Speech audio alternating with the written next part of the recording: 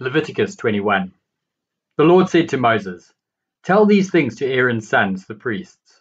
A priest must not make himself unclean by touching a dead person, but if the dead person was one of his close relatives, he may touch him.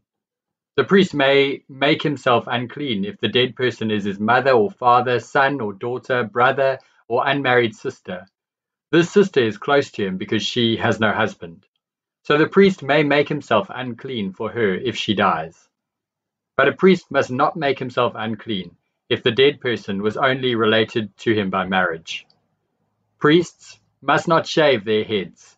They must not shave off the edges of their beards. They must not cut their bodies. Priests must be holy to their God. They must show respect for God's name. This is because they present the offerings made by fire to the Lord. This is the food of their God, so they must be holy. A priest serves God in a special way, so he must not marry an unclean prostitute or a divorced woman. Treat the priest in a special way. Think of him as holy. This is because he offers up the food of your God. I am the Lord, I make you holy, and I am holy. If a priest's daughter makes herself unclean by becoming a prostitute, she shames her father. She must be burned with fire. The high priest was chosen from among his brothers. The special olive oil used in appointing people and things to the service of the Lord was poured on his head.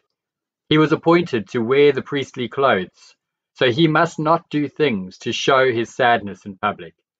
He must not let his hair go uncombed. He must not tear his clothes. He must not go into a house where there is a dead body. He must not make himself unclean, even if it is his own father or mother.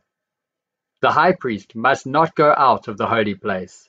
If he does and becomes unclean, he would make God's holy place unclean. The special oil used in appointing priests was poured on the high priest's head. This separated him from the rest of the people. I am the Lord. The high priest must marry a woman who is a virgin. He must not marry a widow, a divorced woman, or a prostitute. He must marry a virgin from his own people. This is so the people will respect his children as his own. I am the Lord. I have set the high priest apart for his special job.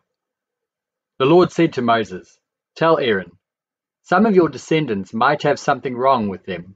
If they do, they must never offer the special food of their God. Anyone who has something wrong with him must not serve as priest, and he must not bring sacrifices to me. These people cannot serve as priests. Blind men, crippled men, men with damaged faces, deformed men, men with a crippled foot or hand, hunchbacks, dwarfs, men who have something wrong with their eyes, men who have an itching disease or a skin disease, or men who have damaged sex glands. One of Aaron's descendants might have something wrong with him. If he does, he cannot make the offerings made by fire to the Lord. He has something wrong with him. He cannot offer the food of his God. But he is from the family of priests, so he may eat the most holy food. He may also eat the holy food, but he may not go through the curtain into the most holy place. He may not go near the altar. He has something wrong with him. He must not make my holy place unfit I am the Lord. I make these things holy. So Moses told these things to Aaron, Aaron's sons, and all the people of Israel. Psalm 26 of David. Lord, defend me. I have lived an innocent life. I trusted the Lord and never doubted. Lord, try me and test me. Look closely into my heart and mind. I see your love I live by your truth. I do not spend time with liars. I do not make friends with people who hide their sin. I hate the company of evil people. I won't sit with the wicked. I wash my hands to show I am innocent. I come to your altar, Lord. I raise my voice in praise. I tell of all the miracles you have done. Lord, I love the temple where you live. It is where your greatness is. Do not kill me with those sinners. Do not take my life with those murderers. Evil is in their hands. They do wrong for money. But I have lived an innocent life. So save me and be kind to me. I stand in a safe place. Lord, I praise you in the great meeting. Psalm 27 of David.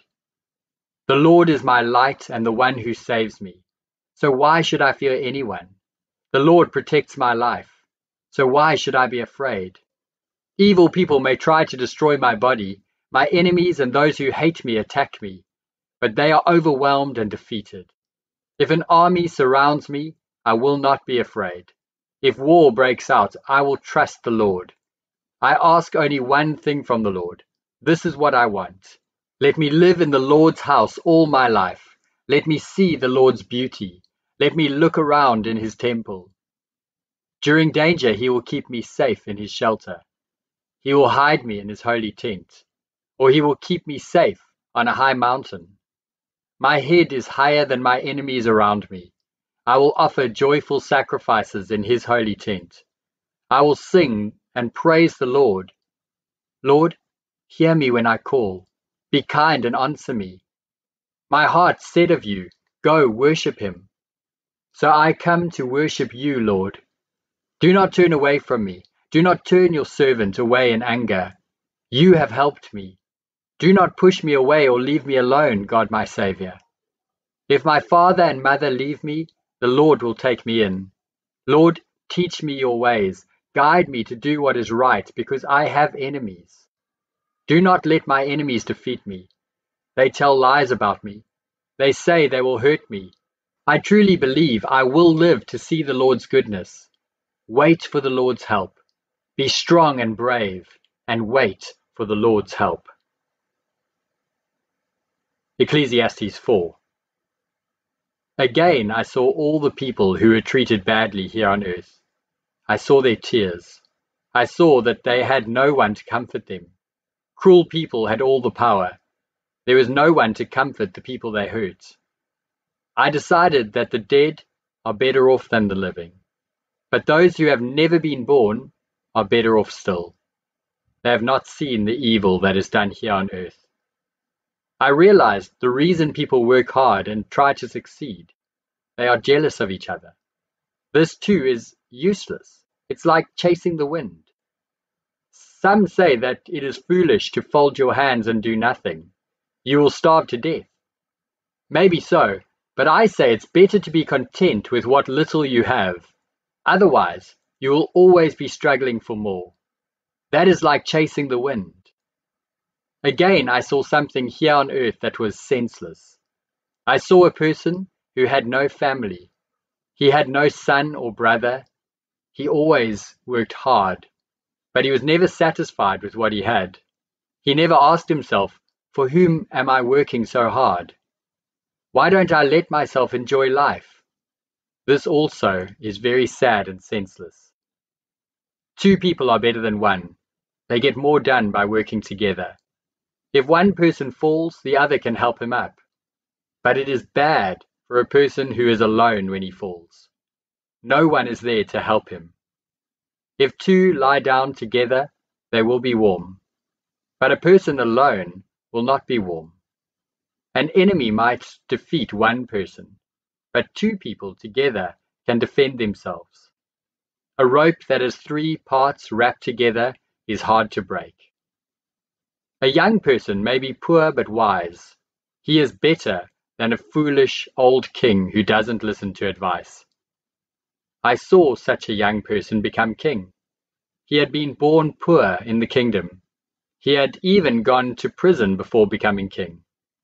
I watched some of the people who live on earth follow him. They made him their king.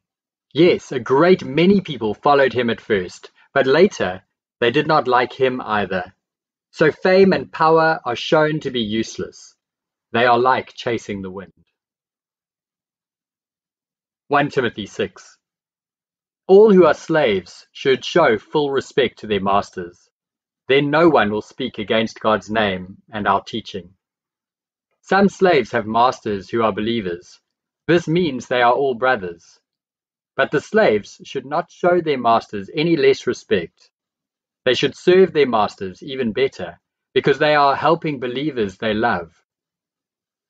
You must teach and preach these things. If anyone has a different teaching, he does not accept the true teaching of our Lord Jesus Christ. And that teaching shows him the true way to serve God. The person who teaches falsely is full of pride and understands nothing. He is sick with a love for arguing and fighting about words. And that brings jealousy, making trouble, insults, and evil mistrust. And that also brings arguments from men who have evil minds. They have lost the truth. They think that serving God is a way to get rich. It is true that serving God makes a person very rich, if he is satisfied with what he has. When we came into the world, we brought nothing, and when we die, we can take nothing out. So if we have food and clothes, we will be satisfied with that. Those who want to become rich bring temptation to themselves. They are caught in a trap they begin to want many foolish things that will hurt them, things that ruin and destroy people. The love of money causes all kinds of evil. Some people have left the true faith because they want to get more and more money, but they have caused themselves much sorrow. But you are a man of God, so you should stay away from all those things. Try to live in the right way, serve God, have faith, love, patience, and gentleness.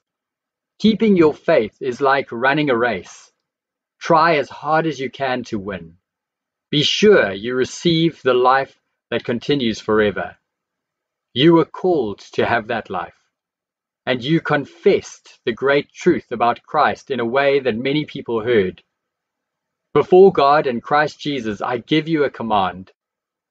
Christ Jesus confessed that same great truth when he stood before Pontius Pilate. And God gives life to everything. Now I tell you, do the things you were commanded to do. Do them without wrong or blame until the time our Lord Jesus Christ comes again. God will make that happen at the right time. He is the blessed and only ruler. He is the King of all kings and the Lord of all lords. God is the only one who never dies. He lives in light, so bright that men cannot go near it. No one has ever seen God or can see him. May honor and power belong to God forever. Amen. Give this command to those who are rich with things of this world. Tell them not to be proud. Tell them to hope in God, not their money. Money cannot be trusted but God takes care of us richly. He gives us everything to enjoy. Tell the rich people to do good and to be rich in doing good deeds. Tell them to be happy to give and ready to share. By doing that, they will be saving a treasure for themselves in heaven. That treasure will be a strong foundation. Their future life can be built on that treasure. Then they will be able to have the life that is true life. Timothy, God has trusted you with many things. Keep those things safe. Stay away from people who say foolish things that are not from God. Stay away from those who argue against the truth. They use something they call knowledge, but it is really not knowledge.